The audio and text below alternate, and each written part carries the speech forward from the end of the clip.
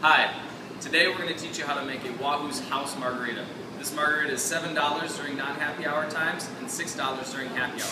First, you're going to need your house tequila, your house tequila, triple sec, your house sour mix, and lime juice if you choose. First thing, take your Poco Grande glass, fill it all the way up with ice. A little bit over is great. You're going to pour it, you're going to pour it into your mixer. Second, you're going to take your jigger. The big side is 1.5 ounces, the small side is 1 ounce. You're going to fill it with a 4 count of tequila, which is approximately 1.25 to 1.5 ounces. One, two, three, four. Boom. Next, you're going to do sour. You're going to do your triple sec, approximately 1 ounce, which is a 3 count, roughly. Good?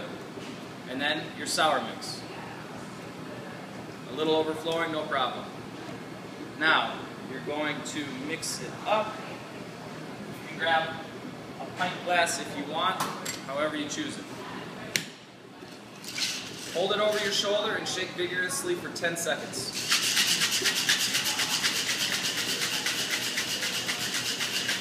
Holding it over your shoulder and shaking it draws attention to the bar and the art of crafting a cocktail.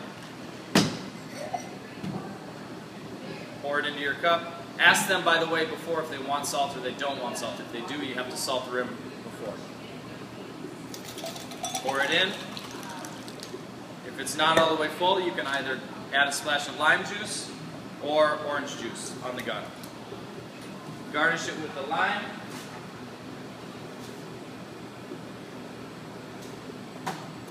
Insert a straw.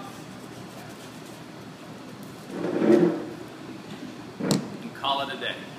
The Wahoo's House Margarita.